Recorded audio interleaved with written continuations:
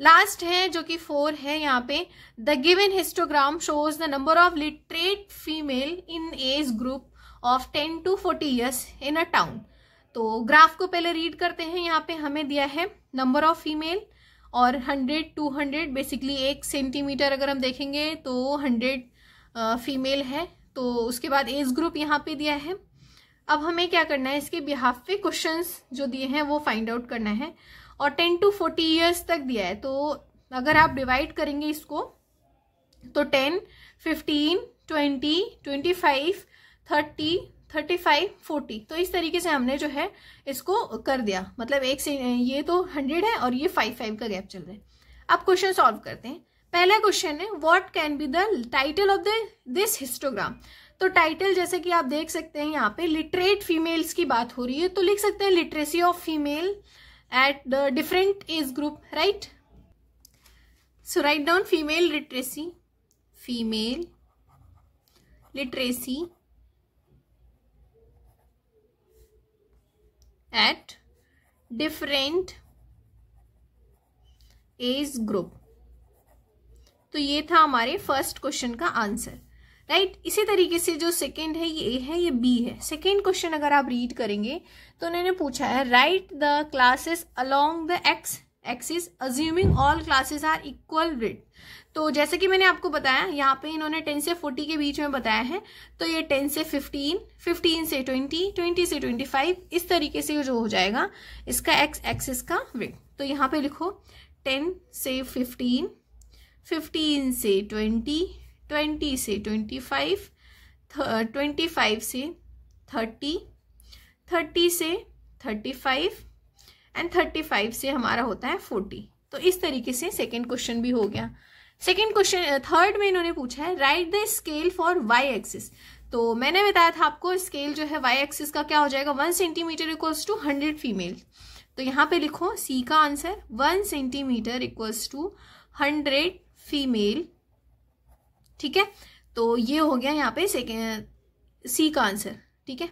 D में हो जाएगा डी का आंसर देखो। डी में क्या पूछा इन्होंने question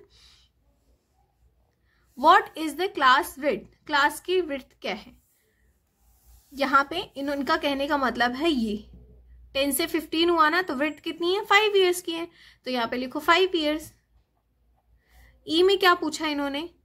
Which age group has the most literate female तो कौन से एज की जो है महिलाएँ ज़्यादा पढ़ी लिखी हैं? तो जब आप देखेंगे यहाँ से टेन से फिफ्टीन है टेन से फिफ्टीन फिफ्टीन से ट्वेंटी ट्वेंटी से ट्वेंटी फाइव देखो ये सबसे ऊपर ग्राफ गया है। तो इसका मतलब है ट्वेंटी से ट्वेंटी फाइव एज ग्रुप की जो महिलाएँ हैं, वो ज़्यादा पढ़ी लिखी हैं। एफ़ का आंसर देखेंगे हम। Which age group has least literate females कौन से एज ग्रुप में सबसे कम पढ़ी लिखी महिलाएँ हैं? तो ग्राफ देखेंगे, सबसे नीचे कौन से में है? यहाँ पे होगा थर्टी और थर्टी फाइव तो इसका मतलब है थर्टी और फोर्टी तो थर्टी फाइव से फोर्टी के बीच में जो है, ये हो जाएगा हमारा एज ग्रुप जिसमें महिलाएँ कम पढ़ी लिखी तो यहीं पे हमारा जो ये एटीन है, वो खत्म होता है। अच्छा फिर फाइव क्वेश्चन भी क्या इसमें? ठीक है क्वेश्चन नंबर फिफ्थ देख लेते हैं यहाँ पे। The histogram given below shows the mark obtain by thirty eight students of class eight in class test construct a simple frequency distributor distribution table तो इसमें हमें ये टेबल बताना है एक तरीके से, जैसे ये टेबल बने थे ना, ये वाले। इस तरीके के टेबल शो करने हैं तो वो मैं करके दिखाती हूँ राइट सो यहाँ पे लिखो टेबल बनाने के लिए।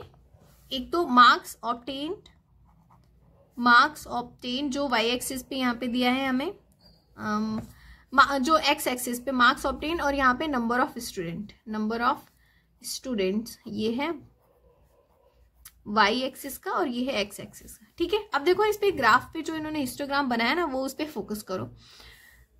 फिफ्टी से सिक्सटी सिक्सटी से सेवेंटी इस तरीके का लिखा है तो यही पहले हम मार्क्स ऑप्टेन में लिख लेते हैं। फिफ्टी से सिक्सटी सिक्सटी से सेवेंटी सेवेंटी से एट्टी एट्टी से नाइन्टी और नाइन्टी से हो जाएगा हंड्रेड।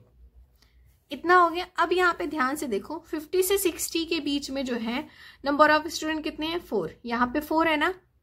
तो यहाँ पे लिख दो फोर और उसके बाद 60 से 70 का देखेंगे तो आपको मिलेगा यहाँ पे फोर से एट मतलब एक जो सेंटीमीटर है, यहाँ पे एक यूनिट जो इन्होंने फोर स्टूडेंट का दिखाया है तो मतलब चार चार का गैप चल रहा है ना? फोर से एट हो गया, एट से ट्वेल्व। तो इस तरीके से इसके बीच में फोर रहेंगे तो यहाँ पे सिक्सटी से सेवेंटी है। तो ये अगर बीच में है तो यहाँ पे सिक्स आया होगा, है ना? यहाँ पे सिक्स स्टूडेंट होंगे तो यहाँ पे हो जाएगा हमारा सिक्स। सेवेंटी से एट्टी का ग्राफ देखेंगे तो ये आया है यहाँ पे। तो यहाँ पे ट्वेल्व के बाद फोर्टीन आया होगा, है ना? तो ये हो जाएँगे यहाँ पे फोर्टीन। उसी तरीके से आप अगर नोटिस करोगे तो एट्टी से नाइन्टी एट्टी से नाइन्टी तो ये ट्वेल्व के सामने है तो हमारा ट्वेल्व हो जाएगा। नाइन्टी से हंड्रेड तो यहाँ पे फोर है तो यहाँ पे टू होगा। तो यहाँ पे हमारा जो है, ये हमने टेबल भी बना लिया। आई होप आपको ये जो है चैप्टर लाइक एटीन भी समझ में आएगा। हाँ हालाँकि थोड़ी सी डिस्टरबेंस हुई होगी बीच में, बहुत ही आवाज़ आई होगी, पड़ोस में लड़ाई हो गई तो उसको इग्नोर करना। छोटी छोटी चीज़ें होती रहती हैं ऐसे बड़े बड़े शहरों में। वीडियो अगर आपको समझ में आया होगा तो उसको लाइक करना और शेयर करना है सब्सक्राइब ज़रूर करना। अगर आपने यहाँ तक देखा है तो। और कोई भी प्रॉब्लम होगी तो प्लीज़ उसको कमेंट करना। तब तक के लिए bye like share and subscribe